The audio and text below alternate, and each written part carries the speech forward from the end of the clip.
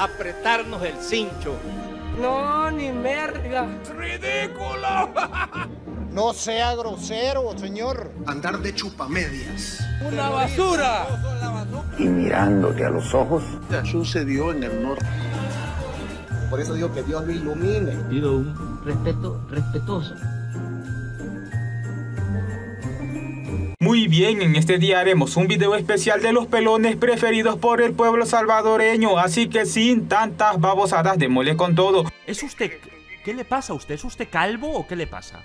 Muy bien, empecemos con el pelón preferido por todos y es nada más y nada menos que Velázquez Parker. ¡Calvo! En primer lugar, recordemos cuando este cerote se quejó de su salario diciendo que ellos solo ganan una manzana al mes y que toda la carne se la come el gobierno y que todos nosotros somos mal agradecidos con su trabajo y que ellos trabajan los 365 días de la semana. La asamblea es el pararrayo de la opinión porque es la institución más abierta de todo el gobierno es la casa del pueblo. Puede llegar a la hora que sea la gente que quiera a preguntar lo que quiera. Y yo en mi oficina recibo gente todas las semanas. Es como que te estés poniendo a llorar porque tenés un cerdo, un lechón en la mesa. Y la manzana, que es la Asamblea Legislativa, es donde está la atención de toda la crítica pública. Y es una manzana, no hay proteína. La proteína está en el cuche que tenés en la mesa y yo no sé quién se lo está tragando. Bueno, sí sé. O sea, a mí no me pagan por estar sentado en el curul los 365 días del año. En el curul me siento el día que hay plenaria. Pero cuando yo me levante hoy a las 5 de la mañana para estar aquí puntual y venir a dar esta entrevista que también es parte de mi trabajo de representación... Bueno, tú estás pendejo, ¿ok, hijo? Y cómo olvidar cuando este cerote en una concentración de simpatizantes y veteranos mandó a la M a un camarógrafo por ser parte del FMLN, cuando en aquellos años Arena y el FMLN se agarraban del pelo. En medio de la actividad, uno de los camarógrafos de televisión que cubría el evento fue empujado y golpeó a un legislador ultraderechista, lo cual fue considerado como una agresión por parte del diputado, que reaccionó de forma intolerante.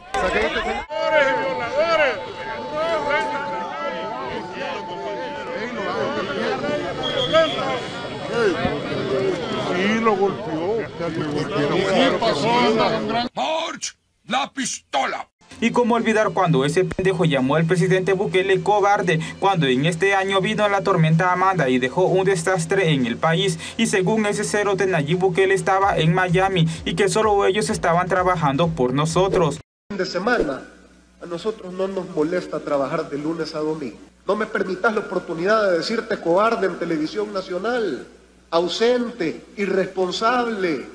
Demostrame que tenés la competencia y la valentía de hacer tu rol o te quedó tan grande que te escudás detrás de una millonaria propaganda para hacerte ver con una imagen que no te corresponde, que no te da.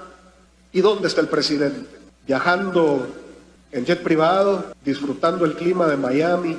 Es una broma, ¿verdad? Y sí, señores, ese cerote insistía e insistía que Nayib Bukele estaba en Miami y Nayib Bukele le respondió de manera épica. Y ese cerote de Parker también dijo que él no tiene problemas de que Bukele le mande troles para atacarlo.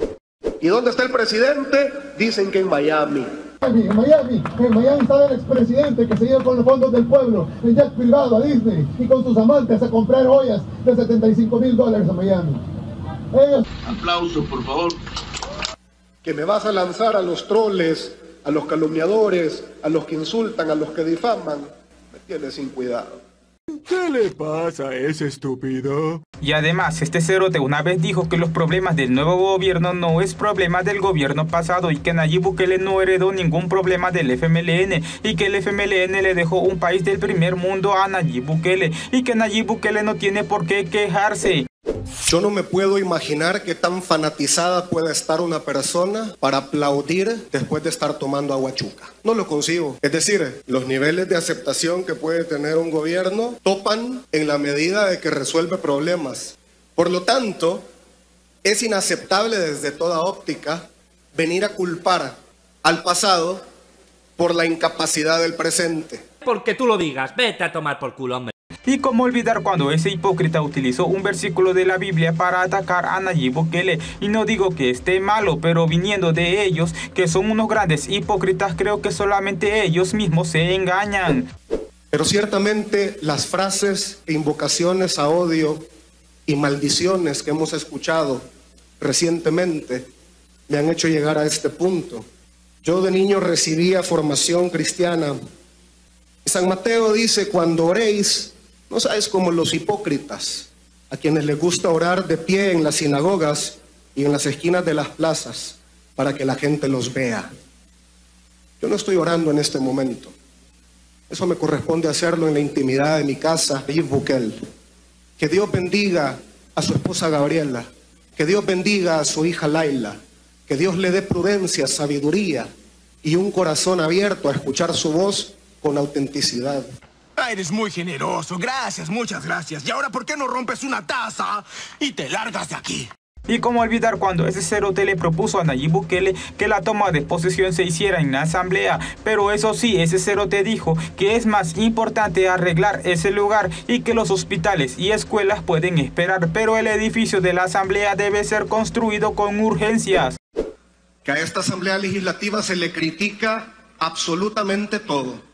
Teniendo un edificio que pone en riesgo la vida de nuestros colaboradores, el presidente electo dijo eso se lo deberían de gastar en medicinas para los niños. Si es que para dar discurso populista no hace falta tener talento. Yo le podría contestar, usted se quiere gastar un millón de dólares en una fiesta. Aquí está el Palacio Legislativo, con un mezanine en el que caben todos los embajadores y representantes del cuerpo diplomático que tenga bien invitar. Los que quiera. Aquí con mucho gusto lo hacemos desfilar en alfombra roja, lo juramentamos en ese podio que está ahí enfrente y no nos gastamos un millón de dólares.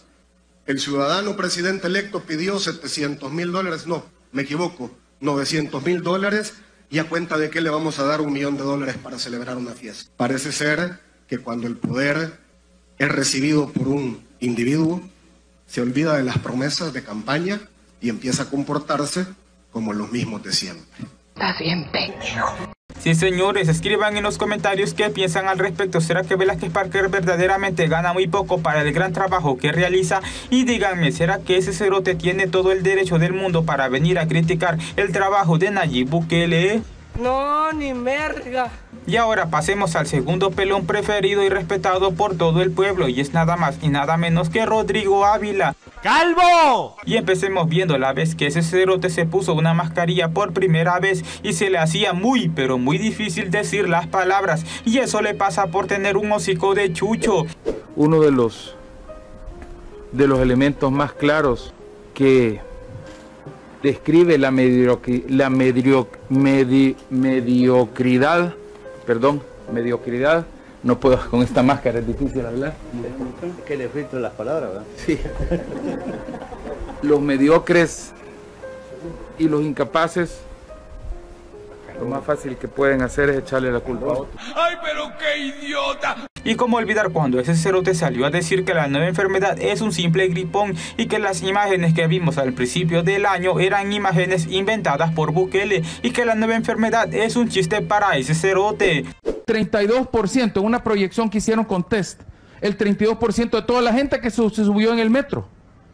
Y algunos ya les pasó la, el, el gripón. Algunos ya sudaron la calentura en su casa, otros terminaron en el hospital y otros murieron. Entonces creo que eso es una cosa importante, que el gobierno cambie ya los protocolos. Entonces, ¿qué creen ustedes sobre eso? Porque la gente se confunde y tristemente, y con esto termino, esas imágenes de miedo ¡Tengo miedo! Y sí, señores, en un programa ese cerote le volvieron a repetir esa pendejada que dijo al principio de este año. Y según ese cerote, las personas sacaron de contexto sus palabras y lo que él quiso decir es que a la gente le dieron un grupón y no un gripón. Por favor, responderle a este muchacho que ha hablado. Primero yo no dije gripón. Él, él se nota que es del esquema de, de, de, de y ha de ser empleado de gobierno porque tienen decenas de empleados de gobierno haciendo eso y diciendo cosas totalmente incoherentes. Yo no hablé de un gripón, hablé que hubo gente que solo le dio un gripón, no fue a un hospital y hubo otra gente que se murió. O sea, obviamente sacan todo fuera de contexto. Yo no dije que esto era un gripón, dije que esto es más, hay gente asintomática. Estuve hablando sobre lo que sucedió en Nueva York. Porque tú lo digas, vete a tomar por culo, hombre. Y cómo olvidar cuando ese se salió a defender a Norma Quijano y salió a decir que todos los alcaldes y que todos los presidentes y que todos los diputados una vez en su vida han negociado con pandilleros para ayudar al país. Aquí está todo lo que dijo el doctor Quijano. Y en nada de esto, en absolutamente nada, en ningún momento de esta transcripción se puede inferir la comisión de un delito. Si él como candidato a la presidencia ofrece programas de prevención de la violencia, entonces no se salva nadie que ha participado en las elecciones recientes y pasadas. Ofrecimientos de crear políticas públicas y utilizar recursos no para manipular elecciones. Esto aquí está. Uy, sí, ya está muy creíble. Y sí, señores, Guillermo Gallego, que como sabemos, él siempre ha estado en contra de los pandilleros, le dijo a ese pendejo de Rodrigo Ávila que él nunca ha negociado con pandilleros y que dejen de decir babosadas. Que no los hagamos del ojo el pacho, que aquí quien no ha estado con pandilleros. Yo no, ingeniero Ávila. Nunca. Los aborrezco y los detesto. Y todo aquello que tenga que ver con pandilleros va a tener mi repudio y mi rechazo, porque le han causado tanto mal a este país. La verdad, las cosas como son. Y sí, señores, ¿cómo olvidar cuando ese cerote empezó a dar clases de inglés en la asamblea y su nivel de inglés está a otro nivel y además su nivel de inglés es tan avanzado que logra inventar palabras que no existían antes? Salvage, cert lemon, low, buyback, buyback, destrucción. E, salvage certificate, no VIN, cuando el VIN no coincide con otro número de VIN en otras partes del vehículo. F, non-rebuildable, no reconstruible. Pero esto es ridículo. Sí, señores, díganme qué piensan. ¿Será que Rodrigo Ávila tendrá otra oportunidad el otro año o que mejor se dedica a una carrera de doctor o a profesor de inglés? O díganme, ese cerote ni para eso sirve. No cabe duda que es un estúpido. Ahora sí, damas y caballeros, me despido. Espero estén pendientes en esta semana y dejen en los comentarios cuál de esos dos pelones ustedes se sienten identificados y cuál de ellos dos van a quedar el otro año. Son basura. ¡Calvo! Pero por el momento me despido y nos veremos en el próximo capítulo. Hasta pronto. El Anonymous 503 te invita a que te suscribas a este peludo canal y que actives el campanazo. Y si te gustó este video te pido que por favor le regales un like y que lo compartas con tus amigos. Y recuerda también que si quieres apoyar este canal lo puedes hacer en las distintas plataformas que les dejaré en la descripción. Y nos veremos en el siguiente capítulo. Hasta pronto.